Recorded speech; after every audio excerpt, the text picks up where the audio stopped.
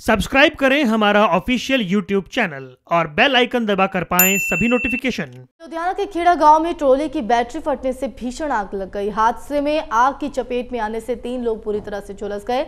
घायलों को फ़िलहाल अस्पताल में भर्ती कराया गया है। तो लुधियाना के खेड़ा गाँव की पूरी घटना, जहाँ पर ट्रोले की बैटरी फटने से भीषण आग लगी है। तस्वीरें भी आपके टीवी स्क्रीन पर हम आपको दिखा रहे हैं। तो हादसे में आग की चपेट में आने से तीन लोग बुरी तरह से झुलसे हैं, जिन्हें फ़िलहाल अस्पताल में भर्ती कराया गया है। तस्वीरें भी आप देख सकते हैं किस तरह से भीषण आग लगी है।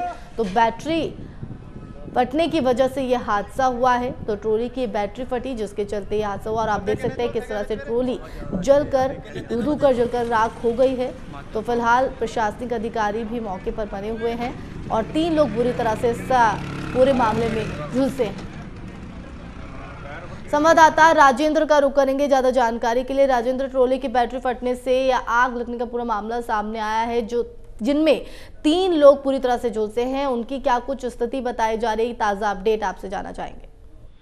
जी, बिल्कुल आशी मैं बताना चाहूँगा, ये लुधियाना के गाँव खेड़ा का जो सब मामला है, जहाँ पर एक खड़े ट्रक को अचानक बैटरी फटने के कारण जो है भीषण आग लग गई और जिसमें तीन लोग, जो तीन आदमी थे वहाँ पर जो इसकी आग की चपेट में आकर झुलस गए, उनको नजदीकी अस्पताल में, मंडी अहमदगढ़ में जो है, उनको भर्ती करवाया गया। हालाँकि पुलिस द्वारा भी मौके पर पहुंचकर इस स्थिति की जाँच की गई और फायर ब्रिगेड की अधिकारियों गाड़ियों को भी बुलाने की कोशिश की गई, लेकिन इलाका काफ़ी आउटर होने के कारण वहाँ पर गाड़ियाँ जो है वो नहीं पहुँच पाई और जिसके कारण ये हादसा हुआ है। जी।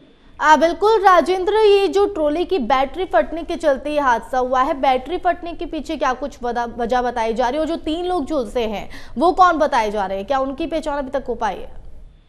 जी बिल्कुल जो ट्राला है उसकी मेंटेनेंस के लिए जो सर्विस कराने के लिए वो आ, जो मालिक था वो लेकर आया था और हम्म। जो उसमें मिस्त्री जो काम कर रहा था अचानक जो है ट्राले की बैटरी बैटरी जो है फट जाने के कारण वहाँ पर जो है अचानक जो है आग लग गई। आग लगने के कारण ये हादसा वापरा है और हादसे में जो पास में खड़े जो व्यक्ति थे मालिक था और जो आ, हेल्पर था उसकी वो काफ़ी जो है झुलस गए हैं।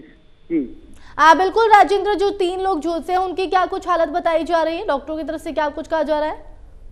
जी बिल्कुल अभी जो मिस्त्री है उसकी हालत काफ़ी जो गंभीर बताई जा रही है। हालाँकि जो हेल्पर हैं जो मालिक हैं उनकी जो हालत है वो नॉर्मल है वो थोड़े से ठीक हैं लेकिन जो मिस्त्री है उसकी हालत जो है काफ़ी गंभीर बताई जा रही है हालाँकि हम्म। जो डॉक्टरों की ओर से उनका जो लगातार जो है ट्रीटमेंट किया जा रहा है और उसके बाद ही पता लग पाएगा कि अभी उनकी जो कंडीशन है, वो क्या है? बिल्कुल, राजेंद्र, जैसे कि आपने बताया कि जो ट्रैक, जो ट्रोली का मालिक था, वो वहाँ पर मेंटेनेंस के लिए आया था, लेकिन वक्त वक्त पर कहीं ना कहीं एक ज़रूरत होती है, क्योंकि इस तरह के हादसों में कहीं ना कहीं लापरवाही होती है, और ऐसे में जो वाहनों की वक्त वक्त पर चेकिंग होनी चाहिए, वो नहीं कराते, जिसके चलते इस तरह के हादसे का शिकार हो जाते हैं लोग।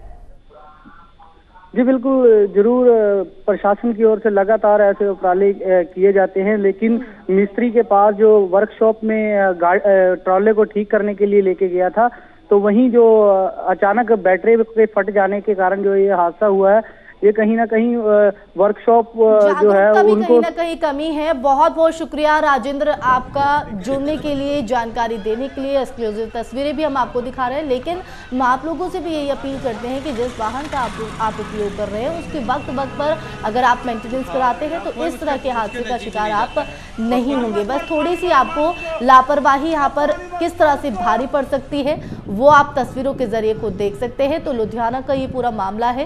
फ़िलहाल जो तीन लोग झुलसे हैं उनकी स्थिति जिनमें से दो की हालत सामान्य बताई जा रही है तो वहीं एक की हालत गंभीर बनी हुई है। तो फ़िलहाल पुलिस की तरफ़ से मामला दर्ज करते हुए आगे की जाँच शुरू कर दी गई।